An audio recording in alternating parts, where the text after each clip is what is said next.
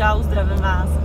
Eh, dneska bych vám chtěla říct o tom, jak, eh, jak se stát vodičem na rantu.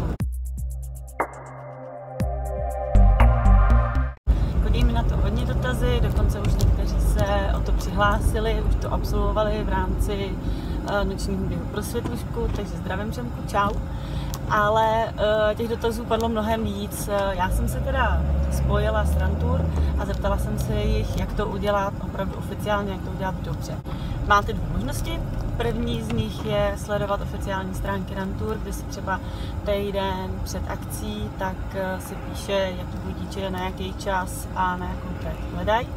To je ta lepší varianta a být ten první, který si o to napíše, druhá varianta, ne teda úplně ideální, ale je to taky varianta, tak je varianta napsat přímo Richardu Valouškovi, který se o tadyhle ten projekt stará, na e-mail richard.valoušek.geometry.com a napsat mu tam, že byste o to měli zájem, Richard se spojí nebo i vás napojí na Leontinku a pak bude záležet na tom, jakýho vodiče a na jaký budou hledat.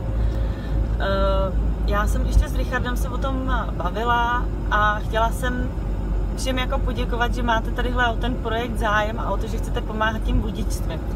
Ale Richard řekl úplně jednu krásnou větu a já si myslím, že stojí za to si ji uvědomit, že vlastně vy všichni, kteří se na Rantour účastníte, kteří se tam jdete zaběhat, tak vy všichni vlastně Leontínku podporujete už jenom vaším startovním. Myslím, že je to 50 korun, který z každého startovního na Leontínku jdou. A během posledních tří let tak se vybralo milion korun, víc než milion korun na, právě na podporu téhle nadace.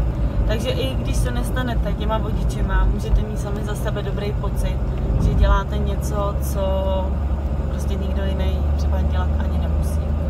Takže mějte se, doufám, že se uvidíme na nějaký rantur a třeba se vám podaří i jednou někoho víc. Tak jo, zatím hezký den, čau!